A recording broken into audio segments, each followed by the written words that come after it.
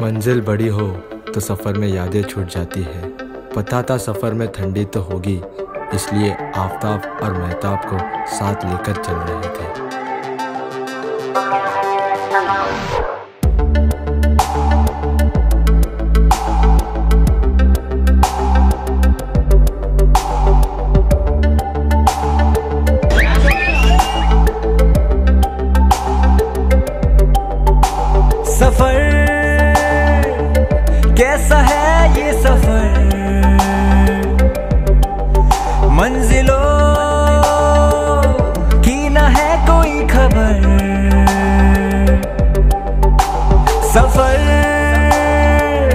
कैसा है ये सफ़र?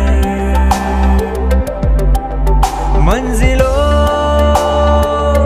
की ना है कोई खबर। रास्तों से मेरी गहरी यारी हो गई, जो फ़र्ज़ से भरा था बस था, वो भी खाली हो गया। बुरा है जमाना, तू चल डकर न कर, अगर मगर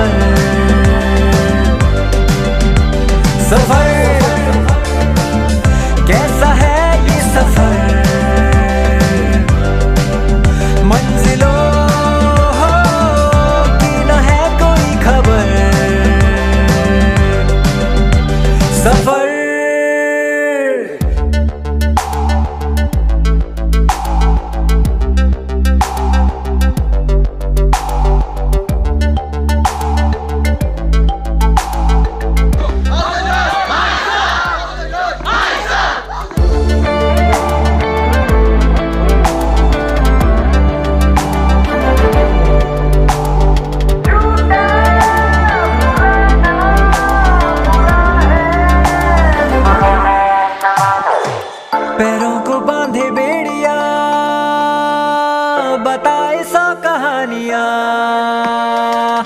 तू रोशनी तू रंग है तू उड़ रही पतंग है। बना है तू